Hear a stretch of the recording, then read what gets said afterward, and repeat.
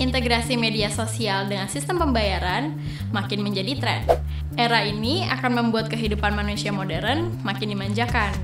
Transfer uang bisa menjadi semudah mengirimkan pesan pendek atau gambar melalui smartphone. Tak hanya itu, biaya pengiriman pun menjadi lebih murah ketimbang transfer antar bank melalui ATM atau mobile banking. Terbaru, WhatsApp, aplikasi pengiriman pesan pendek yang berafiliasi dengan Facebook, mengumumkan rencananya untuk memperkenalkan WhatsApp Pay kepada pengguna di Indonesia. Layanan ini sebenarnya tidak baru-baru amat. Pada Februari 2018, WhatsApp Pay sudah diluncurkan di India dalam versi beta. Sebelum kita mengulas bagaimana WhatsApp Pay bekerja dan apa saja benefit yang ditawarkan, ada baiknya kita perkenalkan dulu layanan serupa yang diluncurkan aplikasi media sosial. Pertama, WeChat. Anda pasti sudah sering mendengar aplikasi pengiriman pesan asal Cina ini. Tak hanya untuk bertukar pesan, WeChat sejak 2014 lalu sudah memiliki fitur dompet digital yang disebut WeChat Pay. Ini adalah dompet digital yang memungkinkan pengguna bisa saling mentransfer uang ke pengguna lain dengan menggunakan nomor ponsel. Tak hanya transfer uang, WeChat Pay juga bisa digunakan untuk transaksi keuangan seperti pembayaran di e-commerce, tagihan listrik dan air, serta pembayaran tiket transportasi, bioskop, dan lainnya. Pada 2018 lalu, setidaknya WeChat Pay memiliki 900 juta pengguna aktif setiap bulan.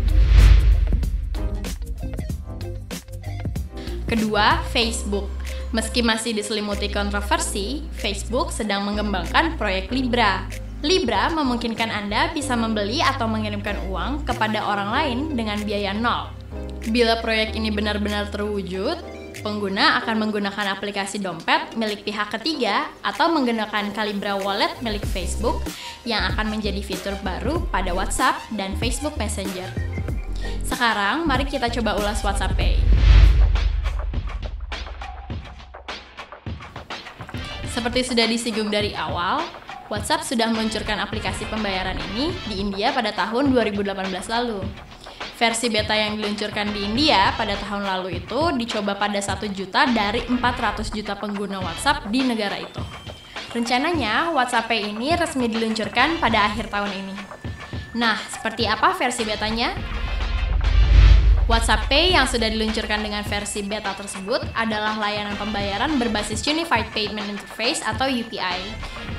UPI adalah aplikasi smartphone yang memungkinkan pengguna smartphone untuk mentransfer uang antara rekening bank. Pada Maret 2019, hampir semua bank di India sudah terkoneksi dengan layanan UPI ini. Dengan nilai transaksi bulanan mencapai 19 miliar dolar. Dengan menggunakan WhatsApp Pay, proses pengiriman uang menjadi semudah mengirim foto dan video di aplikasi. Selama fase awal ini, WhatsApp Pay hanya bisa mengirimkan uang ke kontak mereka setelah mengaktifkan UPI ID.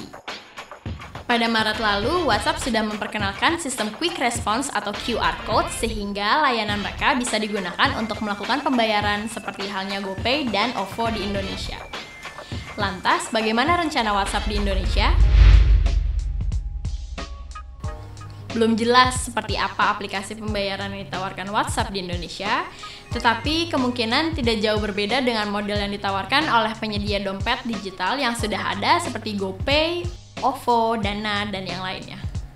Untuk itu, WhatsApp mesti mengajukan izin ke Bank Indonesia sebagai penyelenggara jasa sistem pembayaran. Kalau bisa memenuhi persyaratan dan mendapatkan izin, kehadiran WhatsApp Pay tentu akan menjadi ancaman bagi penyelenggara dompet digital yang sudah ada. Mengapa?